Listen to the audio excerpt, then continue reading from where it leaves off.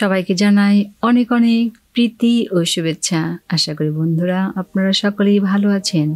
আজকে ঢাকার চিঠি অনুষ্ঠানে আপনাদেরকে জানাব সোনাবাড়িয়ার মঠ গুচ্ছ সম্পর্কে। চলুন বন্ধুরা অনুষ্ঠানটি উপভোগ করি।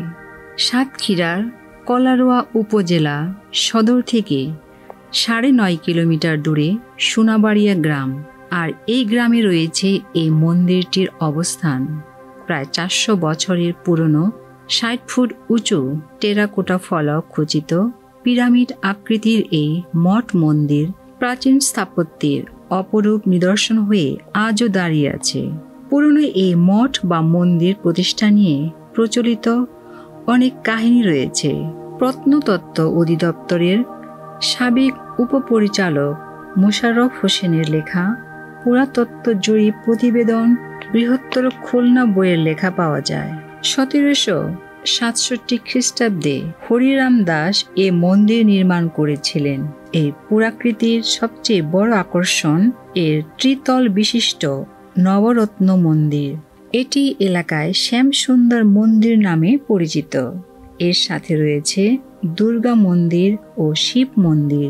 এই মন্দির গুচ্ছের দক্ষিণে একটি অসম বাহু বিশিষ্ট চৌকো দিঘি আছে। শ্যাম মন্দির মঠের নিচতলা বর্গাকার ভিত পরিকল্পনায় নির্মিত।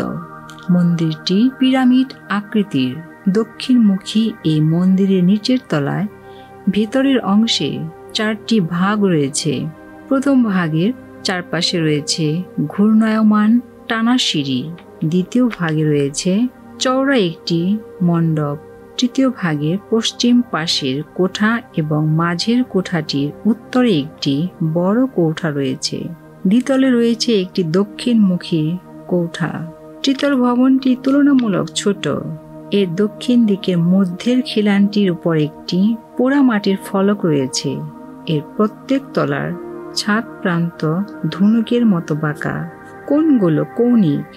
শ্যামসুন্দর মন্দিরের গা ঘেঁষে পূর্বমুখী মন্দিরটিতে একটি কালো পাথরে শিবলিঙ্গ আছে। এর উপর একটি ভাষ্য ফলক আছে। মন্দির গুচ্ছের সবকটি ইমারতে ব্যবহার করা হয়েছে চুন ও সুরকি মিশ্রিত মশলা দিয়ে।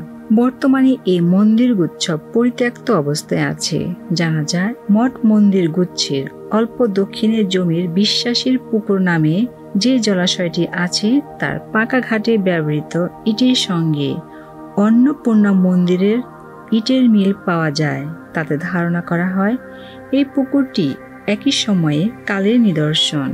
এতক্ষণ আমাদের সঙ্গে থাকার জন্য বেরিদাসের পক্ষ থেকে আপনাদেরকে অনেক অনেক ধন্যবাদ।